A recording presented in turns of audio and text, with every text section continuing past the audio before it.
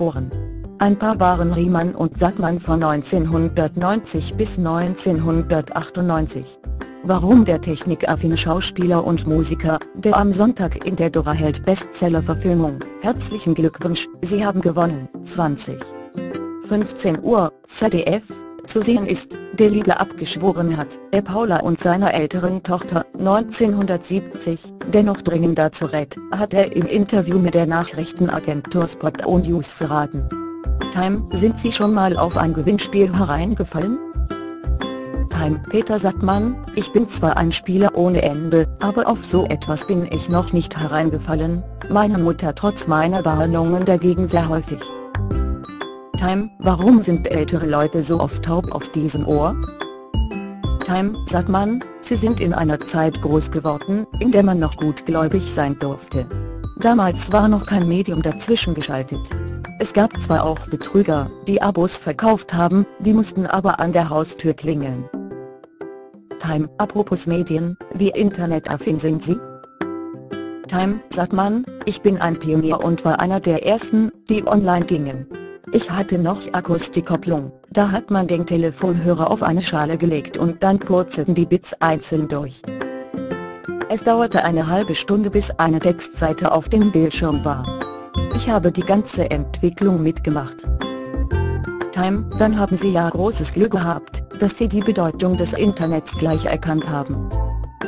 Time, sagt man, das stimmt, meine Generation hat mit Computern eigentlich nichts zu tun.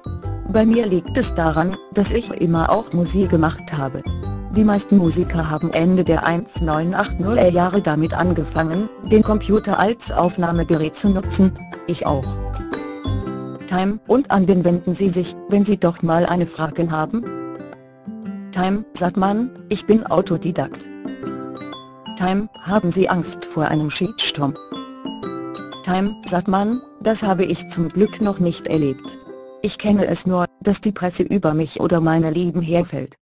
Bei Facebook bin ich zwar schon, ich habe meine Freunde aber auf ein Dutzend begrenzt.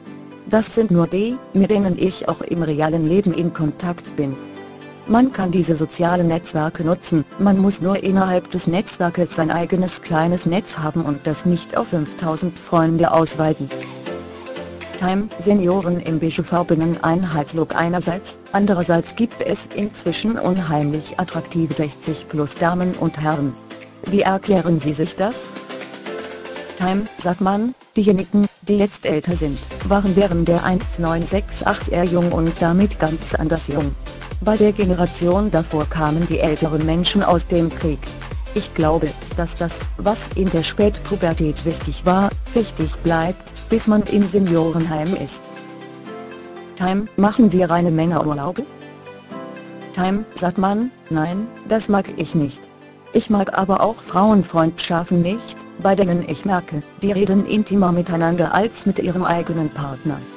Genauso komisch finde ich es, wenn Männer eine Ebene haben, die intimer, ehrlicher und wahrhaftiger ist, als sie sie zu ihren eigenen Frauen haben. Das kann zerstörerisch sein für eine Beziehung, denn der eigene Partner sollte der intimste sein. Trotzdem gibt es ohne Ende Stammtische und Kaffeekränzchen. Time, warum sind lebenslange Beziehungen heute so schwierig? Time, sagt man, früher ist man gar nicht so alt geworden. Außerdem sagt mein Lieblingsverhaltensforscher Desmond Morris, Liebe ist ein Paarbildungstrieb, der dazu dient, die Jungen großzuziehen. Wenn die Jungen groß sind, ist es also nicht mehr vonnöten, zusammen zu bleiben. Weil die Kinder heute aber so lange im Nest bleiben, muss man noch zusammenhalten, obwohl dieser Trieb schon gar nicht mehr da ist. Time, sollte man eine Affäre verzeihen? Time, sagt man, ich habe der Liebe abgeschworen, für die Freundschaft denn die Liebe birgt immer auch den Hass. Wenn man in der Liebe verletzt wird, wird es furchtbar. Liebe bedeutet immer auch Besitzanspruch. Freundschaft kann man teilen, die macht auch nicht eifersüchtig. Das gilt natürlich nicht für junge Leute.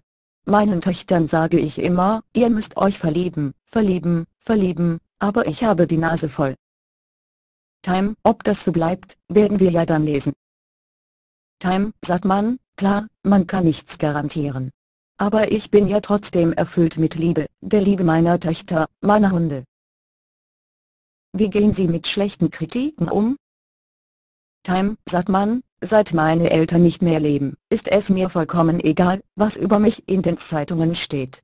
Am Theater gibt es aber auch richtig seriöse Kritiker, deren Meinung man ernst nehmen kann. Eine schlechte Kritik ist da nicht unbedingt schlecht, es wird halt kritisiert, dass man beispielsweise irgendetwas nicht verstanden hat. Anders viele TV-Kritiken, wenn die damit anfangen, dass die Quote schlecht war, kann ich das nicht ernst nehmen und lese auch nicht weiter. Time, was halten Sie dann von dem Markus Lanz-Bassing der letzten Monate?